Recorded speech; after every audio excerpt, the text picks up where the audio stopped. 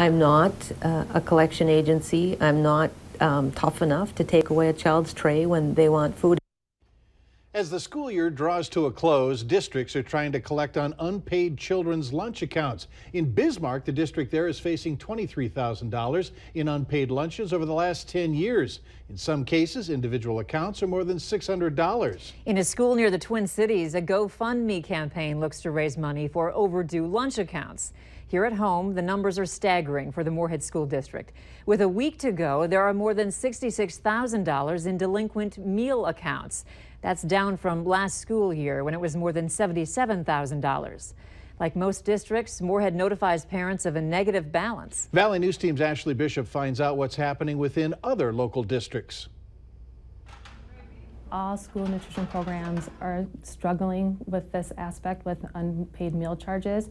And so really it's diff a difference in accounting procedure. The Fargo School District is currently sitting at $800 in delinquent lunch funds for this year and $545 for last school year. The student is coming back in the fall that negative balance negative balance does carry over with them. One thing Fargo does unlike others is once the student gets into the red, they give one regular hot meal, then the student gets a cheaper alternative meal, which tends to be a cold sandwich, fruit, and milk. Holgenson says they try to recoup the losses by reaching out to the families. Then sometimes they even receive donations as well. If a student leaves a district or graduates with a negative balance, then that cost is absorbed.